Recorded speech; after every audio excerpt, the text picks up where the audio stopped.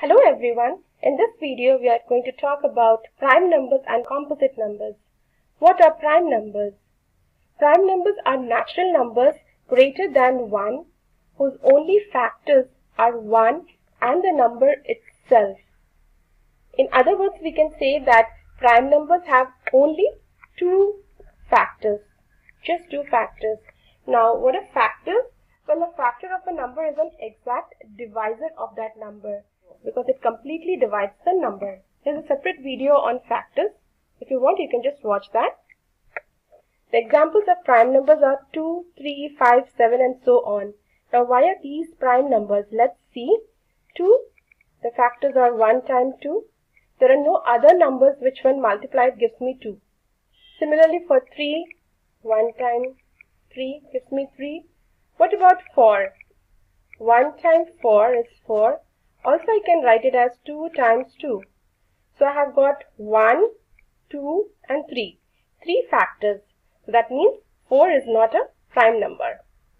5, 1 times 5 is 5. 6, 1 times 2 is, sorry, 1 times 6 is 6. 2 times 3 is 6. So you see here 4 factors, 1, 2, 3, 4. So that means 6 is also not a prime number. 7 we can write as 1 times 7. So you see in all these examples, the factors are 1 and the number itself. Right? Now, there are 25 prime numbers between 1 to 100. I have listed those numbers here. It starts with 2, 3, 5, 7, 11, 13 and then you have 83, 89, 97. So these are 25 prime numbers. Now the point to be noted is 2 is the only even prime number. 2 is the only even prime number. The other even numbers, that means 4, 6, 8, all these are multiples of 2. So they are not prime numbers because they're going to have more than 2 factors. Also, 2 is the smallest prime number and every prime number except 2 is odd. If you notice here, see 3, 5, 7, 11, the ones digit or the units digit will be 1, 3, 5, 7, 9.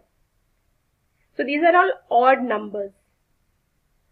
So every prime number except 2 is odd. What are composite numbers?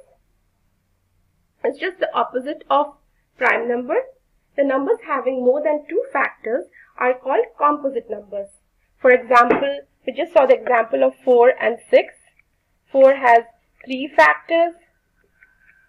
Similarly, 6 has uh, 4 factors. So whenever you have more than 2 factors, those numbers would be composite numbers. I hope the concept of prime number and composite number is clear to you. If you like this video, do share with your friends. Thank you.